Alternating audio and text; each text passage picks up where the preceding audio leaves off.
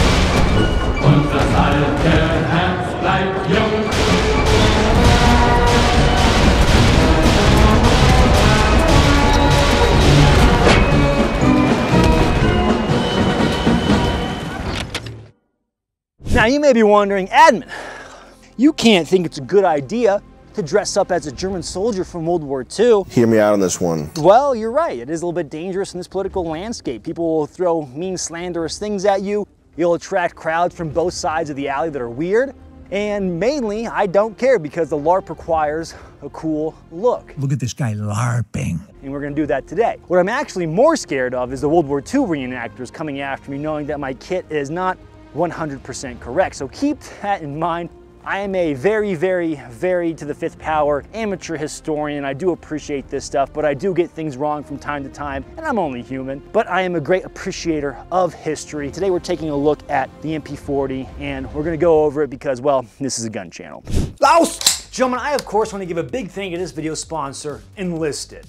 Enlisted is a first-person shooter that offers both PvP as well as PvE. You can take command of massive amounts of AI troops that are customizable and compete against other players that are doing the same in the World War II landscape. Enlisted covers a wide gauntlet of historical eras during World War II, anywhere from the outskirts of Moscow in 1941 to capturing Berlin in 1945. You can play for free on both Xbox, PC, or PlayStation. Enlisted campaigns are so varied that in each one it feels like you're playing a whole new game.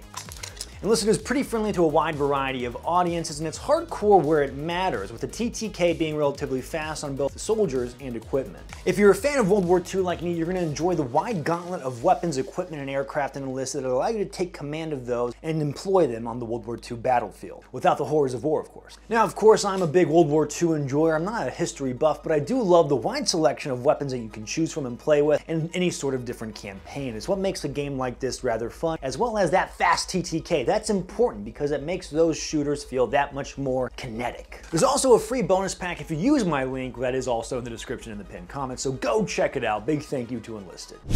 If you shoot an MP40 in the woods, does it make a noise?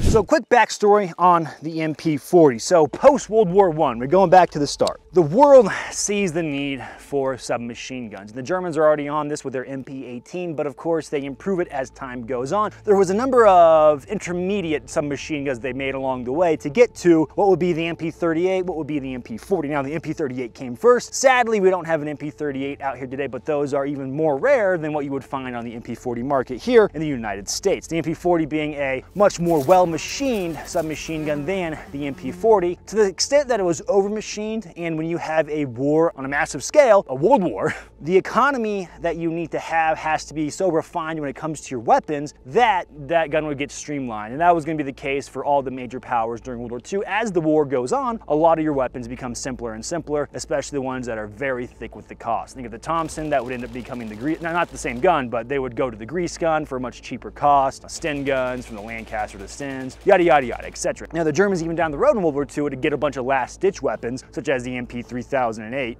or would you say 308, 3008? I guess you could say MP 3008. That sounds that sounds more gun guy vernacular. The Germans would have the MP 3008, and that would be like their last ditch. It was essentially a copy of the Sten. But for the majority of World War II, their submachine gun of choice was the MP 40. Hey, Hey, hey, hey, hey, hey! All right, buddy. I just built an outpost, okay? We're gonna be pushing this objective. Now, commander wants me to build a garrison, so I need you to take the squad. We're gonna go on a flanking mission. Don't mess this up. It's all riding on you, and if you lose, the entire chat's gonna make fun of you. Okay, good luck.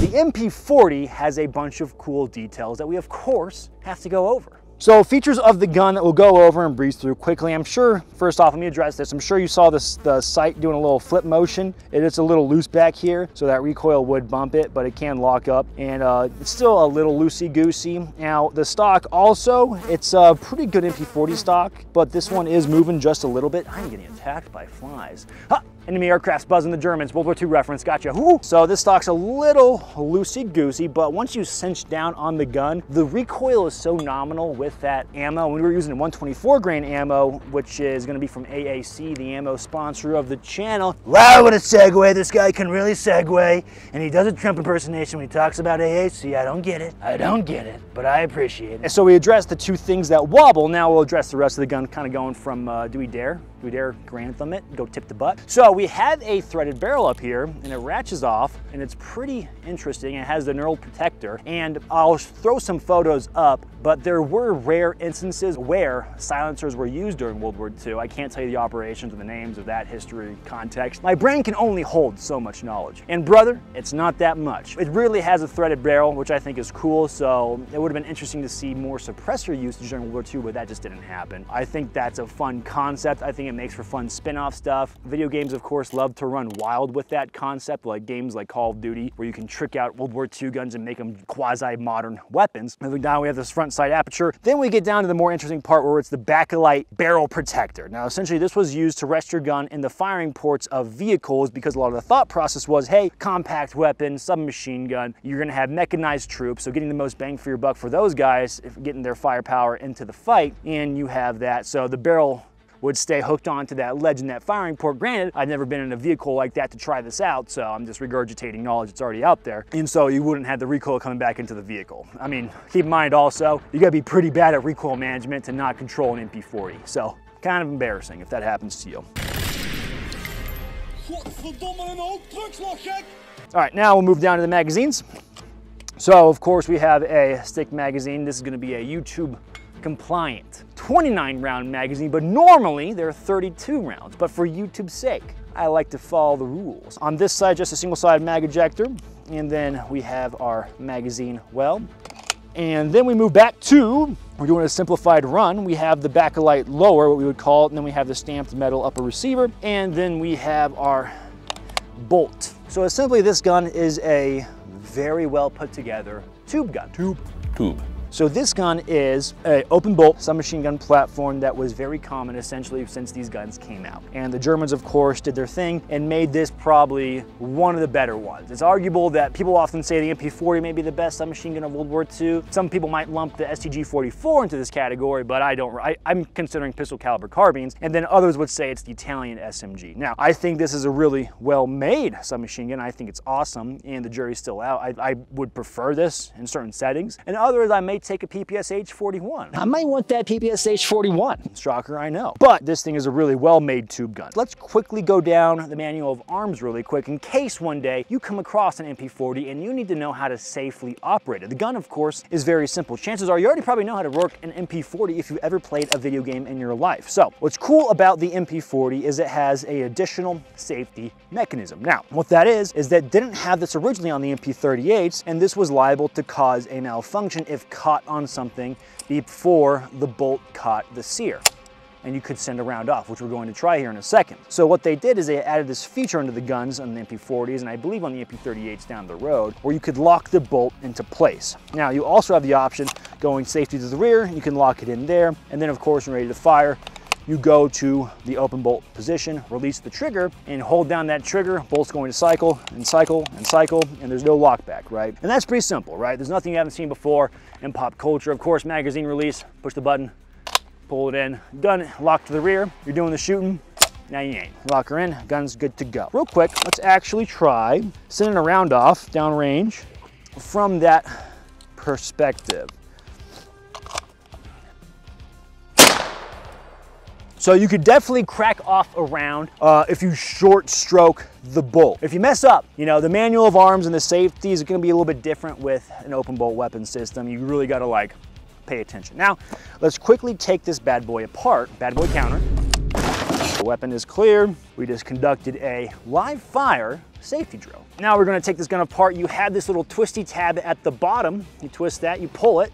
It's like a plunger type material. You'll pull it, twist it, bop it, jerk it, no. And then what you're gonna do is rotate the gun.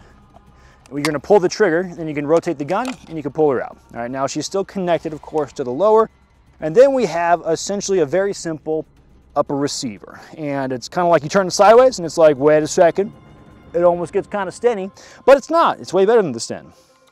So we can pull this bolt out. And the Germans, of course, doing German things, they have this bolt and spring setup that is very, very well made, I would say.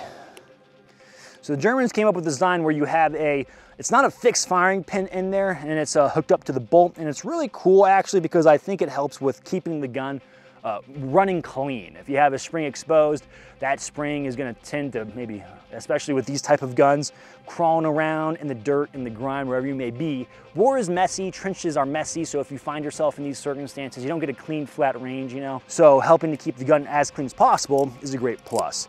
So it's essentially like a telescoping spring, which I think is pretty neat, actually. So I'll throw it back together, then you do a full takedown. I'm not that guy. Oh, and we'll show you the quick bottom of the gun. So you can see, you can see that uh, bottom of the gun with the sear right here. Pull her down, drops the bolt, and she's ready to go. Let, let the go of the trigger, sear comes up, stops the bolt.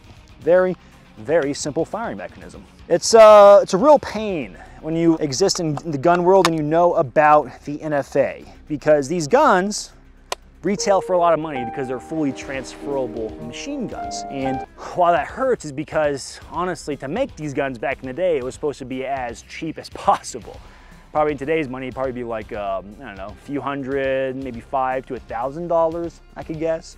But they'll retail anywhere in the teens to, you know, maybe 50 plus thousand dollars today. So kind of hurts. Now, of course, this gun is really cool. It's really uh, historic and iconic, but sadly, the gun isn't mine. It belongs to a dear, dear friend of the channel who we haven't had on in a bit, who I've missed very much because it's been so hot out, but he is back now. Mr. Nick, welcome to the channel. I missed you, brother. I missed you, brother. Thanks for Great coming to be back. here. Great to be here. Thanks for letting me use your MP40 for a Absolutely. video. Now, I was telling him I always do when I borrow cool guns like this. Uh, you know, I, I'm not the expert on, I'm not the owner, but you are. So you got to take it away and tell us a little bit about how you got it, a little bit about the backstory, which I think is fascinating, and just what makes it so special. It is a vet bring back uh, from a member of the 820th. Sorry. You're good. Well, this is a uh, an all original, all matching vet bring back, and it was brought back by a member of the 823rd Tank Destroyer Battalion. His name was Staff Sergeant Frank Krybosecki, and he basically brought it home from the Ardennes Forest where he fought in December of 44 and January of 45. This was bought from his widow. Literally every serial number on this gun matches. I don't shoot it with the matching bolt or firing pin, but I do have them. Basically a testament to when war trophies were based. Could you imagine getting an MP40 as a war trophy? I am the third owner from the German who carried it. Original sling, original parts, everything is original. You even have the original mag loader. I have the original FXO 41 mag loader. So it's nice having this loader.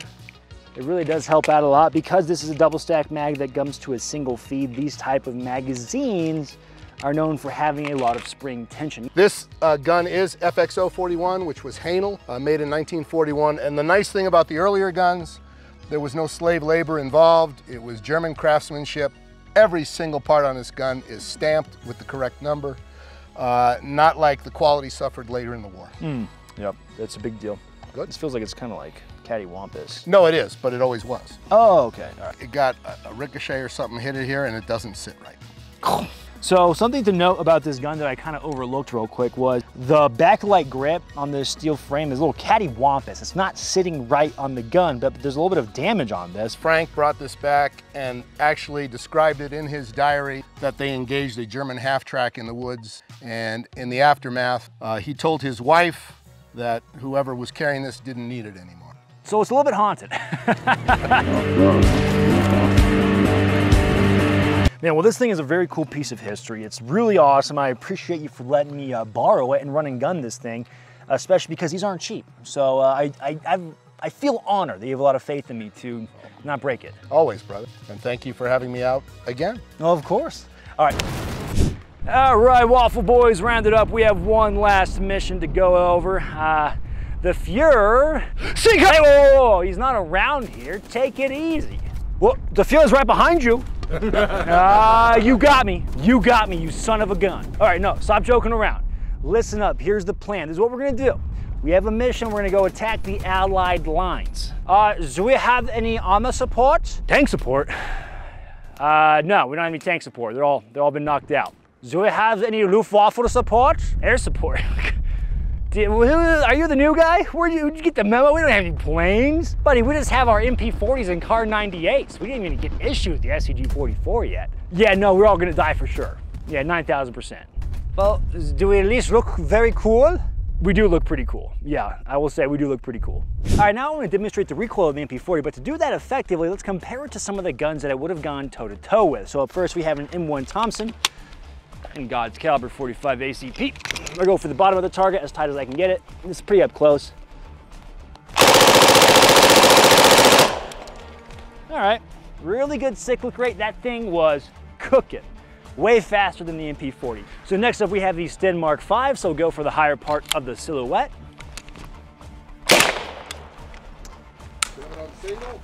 Yeah, that's embarrassing. Very little recoil, very nominal. Oh, slight malfunction. One more round. And of course, that last round was a little inaccurate. And of course, next up we have the PPSH 41. This thing often referred to as the burp gun because it has such a fast cyclic rate. It fooled me, we can't get fooled again. We'll go top left. Okay, that was the most violent of them all. Definitely the worst grouping. It's strange that the, the grouping is very horizontal. And lastly, the star of the show, Mr. MP40 will go for the head box. Right, now let's check out the results. The administrative results, gotcha. Okay, my friends, so here's our results. Pretty, very close shooting to try and get as tight of a group as possible. So we have MP40 we have the Sten, the Thompson, and then the PPSH 41. You can see, I'm not trying to game it. I do like the MP40. I think the Sten and the MP40 were the tightest to shoot, but that MP40, that recoil, just feels so freaking controllable even, even that much better than the Sten. With the Thompson, you can see this vertical pattern that it has, and then in, in comparison to the PPSH 41, which is the much more horizontal pattern, which I find interesting. Now, of course, this was pretty much from just about point blank as far as gunfighting goes. Now what I want to try and do is push these guns to the distance that would have been on the far end of what I think some of the guys using them would have considered. I think around 200 yards is often considered like the, the far end for these guns. So let's give that a shot. All right, now we're gonna see the accuracy at a little bit more distance offhand. We're gonna do some controlled bursts at about 200 yards. If this was hell let loose, you would be like trying to move your cursor or your controller and you're like, ah, come on, come on, and you're probably not gonna get them. But this is on the farther end of, you know, submachine gun effectiveness. Oop. A little bit of a hiccup.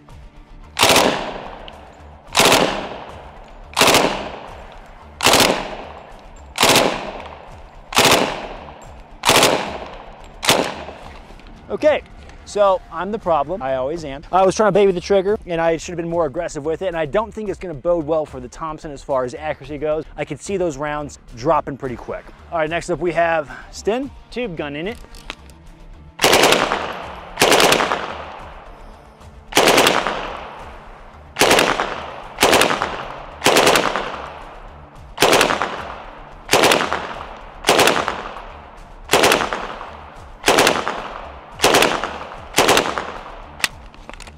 Okay, rounds complete.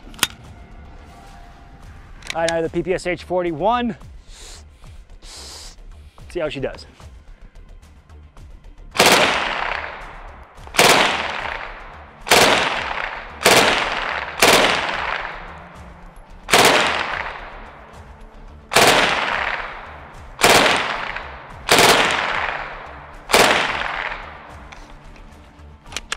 Rounds complete. It's funny with the um, with the front sight post from this distance, it's pretty much the entire size of the silhouette. No silhouettes aren't that small. All right, now we're gonna shoot the far right target with the MP40, which is kind of ironic.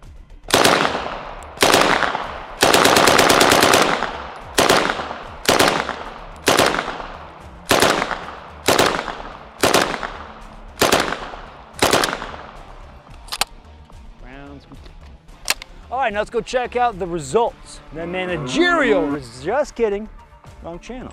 All right, gang, not looking so hot. So working left to right, we have the Thompson, the Sten, the PPSH 41, and then the MP40. Now, one thing to keep in mind is that I could be the issue and I could be the bad shooter and I don't have that much time if I really train every day to dial in my semi or dial in my burst from distance and probably I could be better, but this was a quick off the fly, offhand shooting. So up first we have the Thompson. We have one, two, three hits.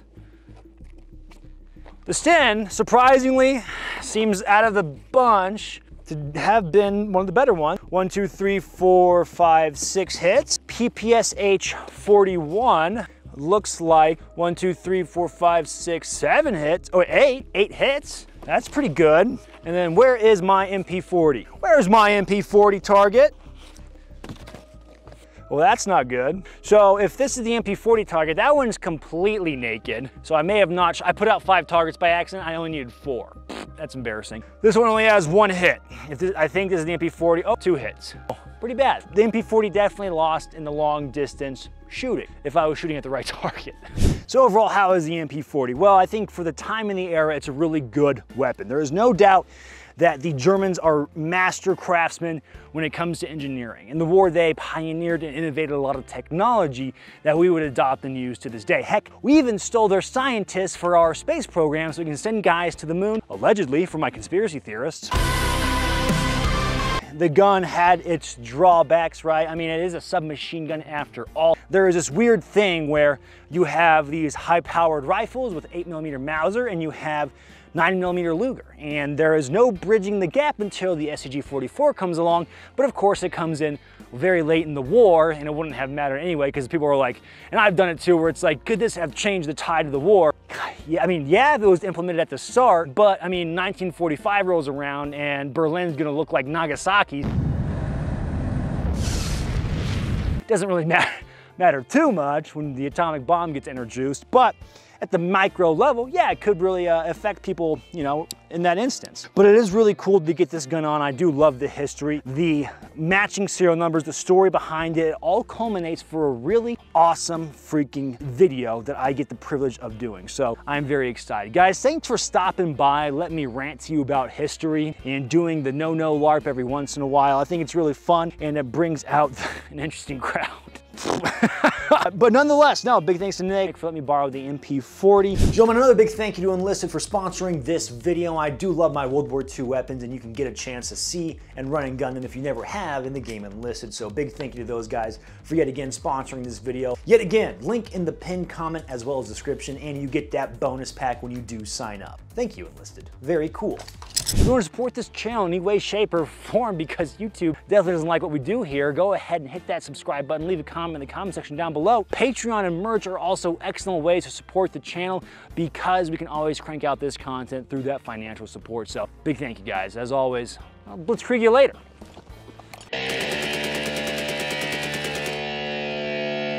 Okay, my friends, taking the lives of hundreds of millions of people. Really? Does that, that sound right? No, too many. Too many. That's embarrassing.